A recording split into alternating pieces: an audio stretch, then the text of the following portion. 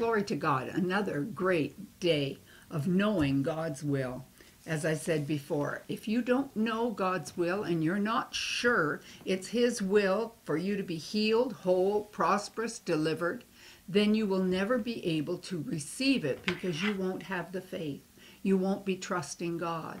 And you have to know what God says about that. So, and that all sickness, all disease is from Satan. Sometimes people think maybe God's using it, but if He's using it, then there must be sickness in heaven because God only uses what He has, and what He has is in heaven. So today we're going to look at Luke chapter 13, verse 16. Luke 13, 16.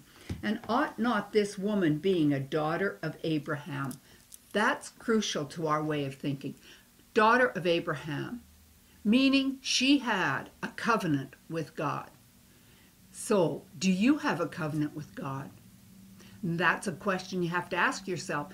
And you do if you've been made a child of God and you've been made a child of God when you believe in your heart that God raised Jesus from the dead, confess with your mouth Jesus is Lord. You enter into the blood covenant with Jesus. So ought not this daughter of Abraham, ought not this daughter who's a joint heir, ought not this son who's a joint heir with Jesus, who has a covenant with God sealed in the blood of Jesus?